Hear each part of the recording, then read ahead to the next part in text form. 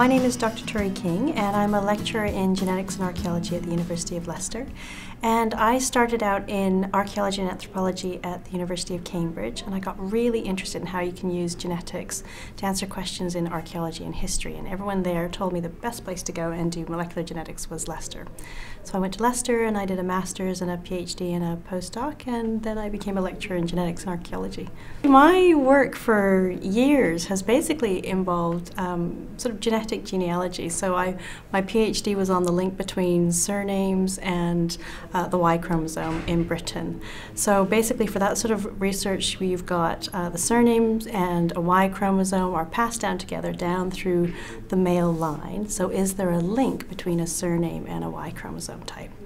So what I was doing for my PhD research was I was getting lots of men, all with the same surname, made sure they didn't know they were related to one another, and then I was looking at their Y chromosome to see if actually they were related to one another.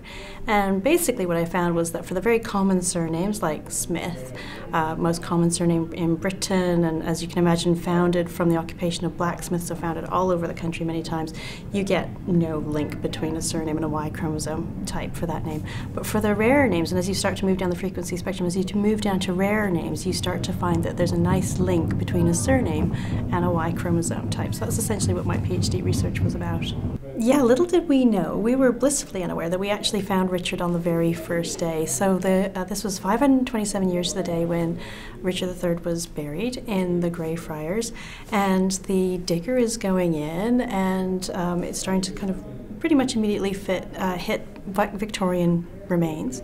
And um, then it, it, hit this little bit of bone here, and um, we didn't think anything of it because we think we're digging probably in a churchyard and we're going to find uh, skeletal remains. And we're joking that, oh, it's probably a 90 year old friar, right? Um, so little did we know, we were actually completely blissfully aware that we'd actually already found Richard within the first sort of few minutes, I guess, of the digger going in. So yeah, so it was interesting because it was uh, on a weekend. Matt did a, our our field work director did a quick check to kind of go, yep, does it look like it's actually two legs? Okay, well we'll we'll cover it up and we'll get the license uh, that you need to have. It's a long weekend, so that can't happen until Tuesday. So we're just basically keep going on with the dig, and we started to realize that we were actually in the friary, but it took us about another week and a half before we realized who we'd actually hit. My work completely relies on the genealogical work, uh, work obviously, because what I need is um, a relative to compare the DNA to. Obviously, with this time distance, then you need a fair amount of genealogical research to have gone on to actually identify people who would be suitable to take part. So we actually already had somebody. We had Michael Ibsen, who had been traced by a chap called John Ashdown Hill, who had found uh, Joy Ibsen, Michael's mum. Now, Joy had died a few years ago, but Michael agreed to take part in the project. So this is great. We already had that to start with. Now, obviously, all of the, the gene genealogical evidence had to be properly referenced. So this is where Professor Kevin Schur, who's our Pro Vice Chancellor for Research, came in. Um, he has an expertise in genealogy, and he basically went through the entire tree, got all the documentary evidence to make sure that it was correct. And the other thing he really wanted to do was he wanted to get a second individual, so somebody else who's distantly related to Michael through the female line again, so I can use mitochondrial DNA. And within about six weeks, by going through all of this documentary evidence, he managed to trace a second individual who agreed to take part in the project.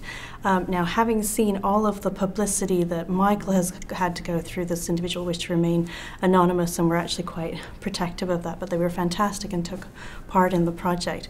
So this was great because it meant that I had two individuals whose mitochondrial DNA should match, and then I can use that as a comparator against any skeletal remains that, I, that are found in the Greyfriars site. So that's essentially what I was doing. I used those two individuals as my comparator, and then I got mitochondrial DNA out of the skeletal remains, and there was a lovely, great match. So, yeah, it was pretty amazing moment to kind of see all of that coming back. I did a little dance around the lab with my friend Pat. so a lot of my work um, is still continuing on uh, to build on the work that I did with my PhD. So obviously we know that there's a link between a surname and a Y chromosome. So surnames in Britain are about 700 years old. So after the period when we know that the Vikings got there, the Norse Vikings got there.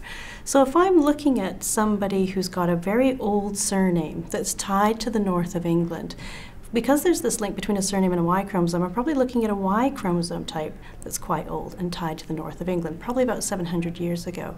So what's interesting is if I'm looking in these areas where we know the Norse Vikings got to, and I'm looking at men with these very, very old surnames, chances are their ancestry goes back to this area. So I'm interested to see whether or not as a, as a group, do men in the north of England, where we know the Vikings got to, have higher instances of what looks like Scandinavian ancestry than men in other parts of the country? So that's what I've been doing. I've been going around the north of England, very interested in men who've got very old, rare surnames tied to particular regions in the north of England, typing their Y chromosome types and looking to, at proportions of Viking ancestry. So I have a lot of men who contact me who tell me that they, um, they've got a very old surname, they'd like to take part in the study, and they're obviously very interested in knowing whether or not they've got a Y chromosome type that looks like it comes from Norway. Have they got Viking ancestry?